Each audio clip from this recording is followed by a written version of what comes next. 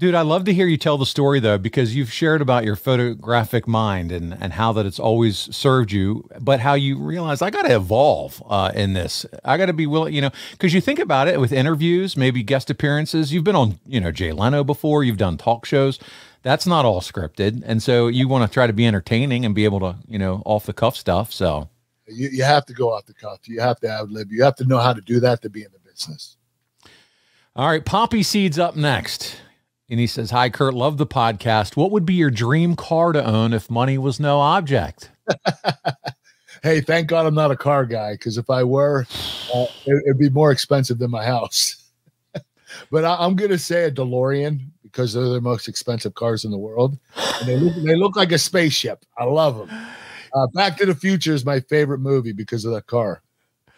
Dude, there's a uh, there was a show on a uh, Million Dollar Wheels, and I got sucked into it. It was on TNT. It's on Discovery Plus, that by the way, and I watched it. So if you want to go back and watch it, but man, I got sucked into it, and you ought to see some of the rides on that car.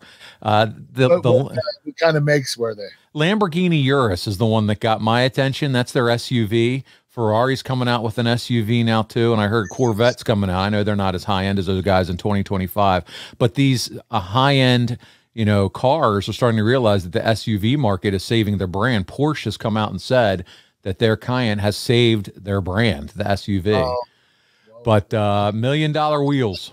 Oh, are, I mean, are they a million dollars for these? They're SUVs? not million dollars. That's the name of the show. But the, you can get a Urus for three hundred thousand. Isn't that false advertisement? I know, right?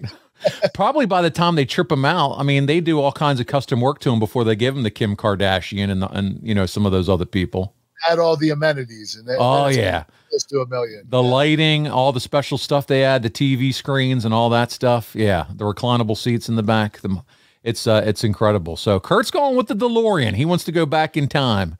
And uh, i love it. All right